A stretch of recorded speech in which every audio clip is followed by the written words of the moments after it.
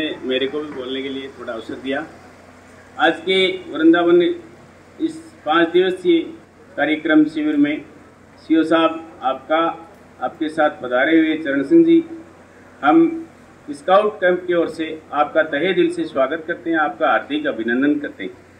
साथ ही जानकारी के लिए आपको बताएँ, यहाँ पर दो सौ सतासी स्काउट और गाइड ट्रेनिंग ले रहे हैं। ये 19 तारीख को अपने निर्धारित समय पर पहुंचकर और लगातार सुबह पाँच बजे से रात को साढ़े दस बजे तक लगातार एक्टिविटियाँ इनकी चल रही प्रशिक्षण दल है, वो भी बहुत ही ऊर्जावान, सक्रिय, और लगातार अपने अपने कर्तव्य के प्रति निष्ठापूर्वक काम कर रहा है। हमारे लिए, मैं जो मुख्य बात बताने जा रहा हूँ, वो ये है कि झुंझुनू ज़िले के लिए सौभाग्य की बात यह है कि महेश जी कलावत जैसा सीओ इस योजना को मिला। मैं ईश्वर से प्रार्थना करता हूँ जब तक आप रिटायरमेंट नहीं हो, झुंझुनू में रहे, ईश्वर करे, आपकी कहीं बदली नहीं हो जाए। और हो तो प्रमोशन, हो तो यहीं वो प्रमोशन वाला हेडक्वार्टर भी यहीं बन जाए। तो झुंझुनू के लिए बहुत अच्छा होगा। आपने झुंझुनू हेडक्वार्टर पर दिन दूनी और रात चौगुनी निर्माण कार्य करवाए हैं नए नए आयाम स्थापित किए ही।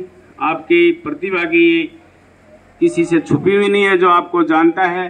वो एक बार जो आपसे मिल लिया, वो आपको लाइफ में भूल नहीं सकता। आपकी चेहरे की मुस्कान।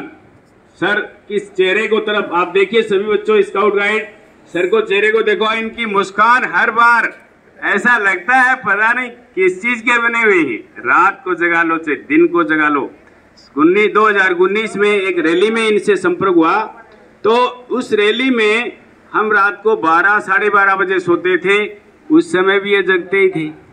और जब पाँच, चार बजे उठते, तब भी ये जगह ही लगते। जगह ही मिलते हम तो।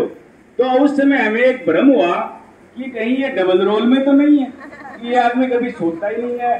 देखा ग्राउंड में देखे तो सीओ साहब उधर थे ऑफ़िस में देखे तो वहीं भी मिलते। हमें ये भ्रम हुआ कि डबल रोल में तो नहीं।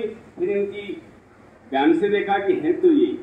आप जैसे सीओ साहब, हम पाकर बड़ी खुश हैं और ये बच्चे जो तृतीय सोपान में यहाँ प्रशिक्षण ले रहे हैं, आपके निर्देशन में कार्य करेंगे।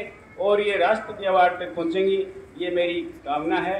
आपने व्यस्त समय निकाला और हमारा मान सम्मान बढ़ाया।